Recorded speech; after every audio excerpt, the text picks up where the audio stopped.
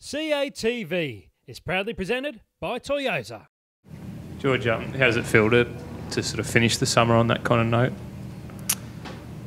Um, yeah, satisfying. That was certainly, I think, from a team perspective, that was our most complete game throughout the series. So that was really pleasing. Um, really proud of the guys in the last three games. I think it, it can be quite. Well, I think 2020 is challenging because you come in for a, a, series over a week. There's about half a training session, and then you're into it. So, not through any fault of the players, I think there can be a tendency sometimes to play a little bit for yourself or for a spot. But um, I think the guys have bought into our team, our team plans and team values so well, and that's that's that's really pleasing for me. It's going to give us a headache when we try and sit down and pick 15 in a couple of days' time, but um, but it's a good problem to have. Um, what did you make of England's demeanour out on the field? Did they sort of look like a team that wanted to be there or, or be on the plane already? Uh, no, I think they mate, I think they were up for it. They, I think they, they probably thought that we, we had a few too many by the end of our innings. But um, no, I think if you look at the way they celebrated their early wickets, they were they were up for it. I think they would have wanted to, to win on their way home. And how do you think the squad's sort of placed heading to, to Bangladesh?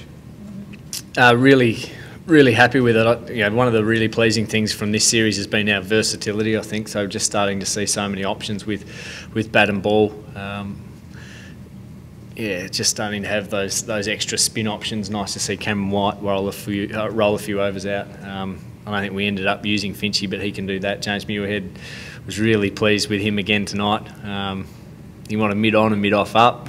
he's just so he's just so confident in, in what he does. Um, and I thought a really smart ball to get rid of rid of Bresnan. Um, good to see him turning the ball the way he is. I thought Dan Christian with his little off cutters and what he brings to the team, um, all, all really pleasing things to see. Great to see Mitchell Starc back. I thought he's he's bowled really really well in the last couple of games, and um, we were probably expecting him to be a little bit rustier and you know wondering how he was going to be looking heading into South Africa and into the World Cup, but it looks like he's ready to go straight up.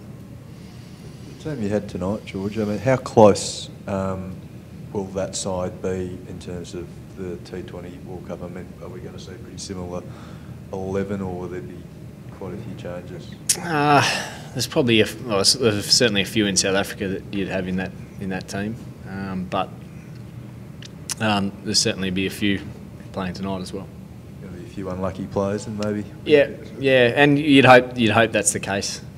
And I think any time that's easy to pick 15, that's that's probably not going to be a great omen for, for what's to come. Um, really challenging. I think our pool's really challenging in the World Cup. I think we've got most of the uh, the Asian teams, the subcontinent teams, so that's going to be that's going to be really tough for us. Did you get a say Uh, yep. Yeah, I do. Um, and that's that's why I'm not that fussed about not being a selector. I think I've always um, I've always discussed teams with the selectors, and I've got a, a, really good relationship with Buff, so there's no issues in determining that. You don't win every battle, but that's okay. Is it hard to keep momentum, George, in, a, in the T20s? I mean, you have such um, extended breaks between series. Yeah, it is. Yeah, it's a challenge. It's a challenge for every team, but it's something that we, we've certainly. I mean, sometimes you can't even remember who played in the last team, let alone how or how you went, where it was. Uh, I think we played four last year for the entire year, so that that's that's tough, and it does quite often come at the back of a, another series or there's a series coming up. So uh, we haven't played our strongest T20 side since the last World Cup.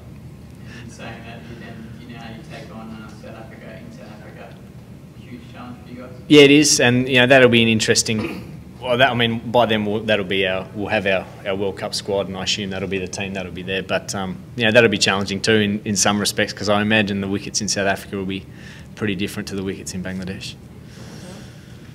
If um, Warner comes back to open the batting with Finch, and Watson comes back to bat at three, and you bat at four, and Cameron White's been your most successful batsman, where are you going to play him? Yeah, well, we've just got to find a spot, don't we? That's as you said. It's as, as it's been said. It's a good problem to have. Um, having said that, I think all of those guys are, are pretty versatile. You know, we've seen Davey bat in the middle order um, for most of the last IPL. Uh, Cameron's done that a lot for Australia, and he's done it really well. So um, there's no issues.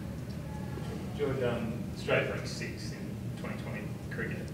Um, what do you think the, the main reasons been, I suppose, for, you know, for, for being so low? Is there anything that you can pinpointed that particularly needs to, Oh, I don't think we played that. The, the most obvious one is we haven't played that consistent. We seem to draw a lot of 2020 series. There seems to be a lot of one all or two match series, which don't make much sense, and then a lot of draws. But I think first and foremost is we don't, and I don't think we're on our lo- uh, lonesome. I don't think a lot of uh, countries do, but we don't play our strongest side. As I said, we played our strongest side in the last World Cup, and we haven't since. So it's just. Um, and to be perfectly honest, you know, I think Pat Howard, and I think Pat Howard would say the same thing. I, I don't, I just don't think the rankings matter. I think T20, you win the World Cup, that's what counts. That's the only thing that counts.